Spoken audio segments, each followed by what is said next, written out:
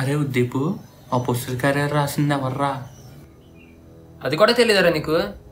రోజు బైబిల్ చదవడం కాదు ఇందులో ఏముందో తెలుసుకోవాలి. ఏది ఎవరు రాశారో తెలిసి ఉండాలి. యాక్స్ రాసింది పౌలు గారు. సరిపోయారా బాబు మీ ఇద్దరు. ఏది ఎవరు రాశారో తెలియకుండా చదివినా పర్లేదు కానీ ఇలా రచయితలు మాత్రం మార్చేద్దిరా నాకు తెలుసా అన్నయ్య ఆ పుస్తక కార్యాలు రాసింది ఎవరో? వీడికి తెలుసా లేదా అని అడిగాను. వీడికి తెలియదు ఆ పుస్తక కార్యాలు రాసింది పేతురు గారు.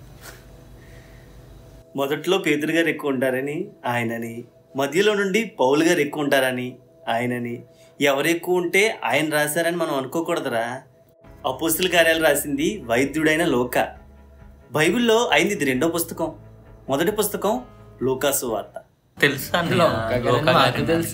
నీకు తెలుసా తెలుసు. ఆహా, మాకు తెలియదు మాకు తెలియదు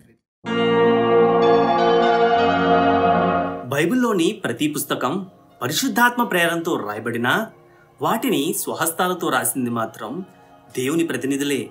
మనం చదువుకునే రోజుల్లో ప్రతి భాష పాఠ్యభాగాల్లోనూ కవి పరిచయం ఉంటుంది.